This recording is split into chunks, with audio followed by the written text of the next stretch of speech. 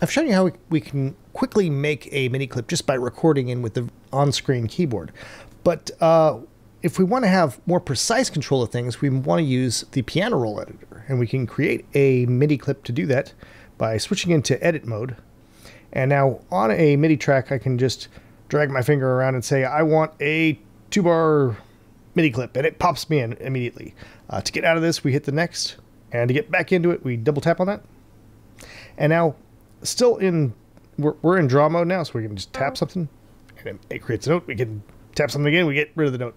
And, but even in just draw mode, we can do a lot of stuff. We can move around, we can pinch and zoom. Um, before I do any more pinching and zooming, though, I want to show you the grid setting here. Uh, we could set it, right now it's on 16th.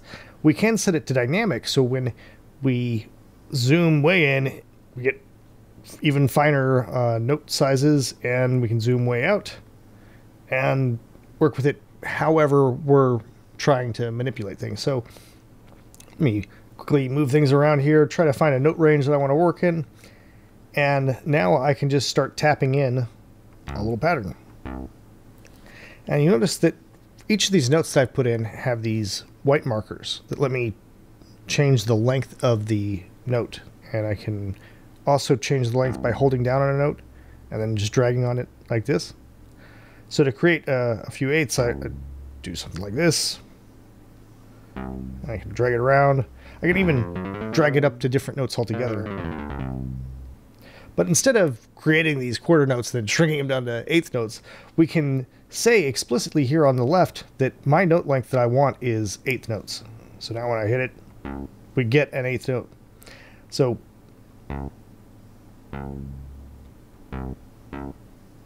quickly just throw it in a pattern here and and it's good, right? Now we can select all of these by holding down and now we get this rectangle selector thing and now we can do all kinds of new stuff. We could transpose these or we could tap on it to copy them. And now to paste, I have to hold down and then release to say this is where I want you to paste to. And now I can transpose that. So now I've taken my first bar, completely copied it, and then transposed down the second bar. Now we're, we're building up a groove. Now, while I've got this selected, I want to show you something here. Uh, you'll notice below the note length, there's also a velocity slider. And when I'm touching this, you can see the velocity values for everything. Right now, the, the default is uh, 100. Now I can change all of the selected notes. Let me zoom around so you can see these. Uh, all of the selected notes are changing at once. Now, I don't actually want to do that. I just wanted to show you that because it's kind of cool. To unselect everything, I just tapped, and, and now we're, we're out of that.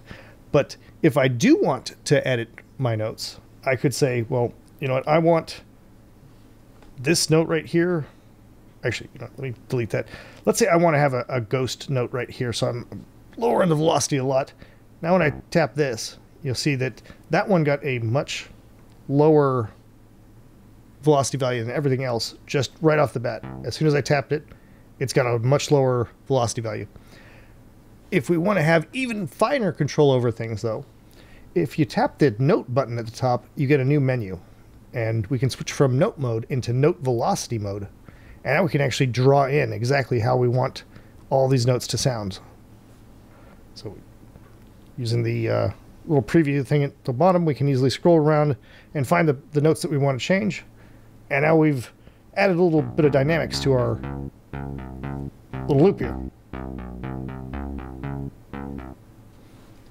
You may have noticed that there's a lot of other options here when we hit the note button now we can change into control change or program change for actual MIDI messages. And the whole array of different control change options are available to us. And what you can actually do will depend on what you're plugged into. So in this case, I'm plugged into uh, Poison 202, and I know that that's going to listen to control change messages for modulation wheel. And that'll make for a good example here because it's going to sound super weird when I do this. So I say I'm now in control change for uh, velocity, or for modulation wheel. I can now hold down, and I'm now in draw mode. I can draw in some some goofy little thing here. I'm going to draw in uh, a slider thing here to send it back down to zero. So it's going to sound weird. It's going to sound really weird, and then it's going to sound calm into the second bar.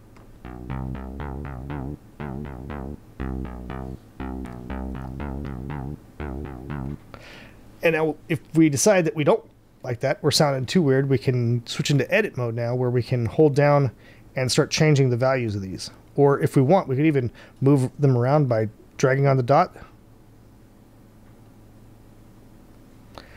And if you decide that you do not want whatever you've done, you can just tap on the dots to remove them, or even drag your finger around to remove a whole bunch at once.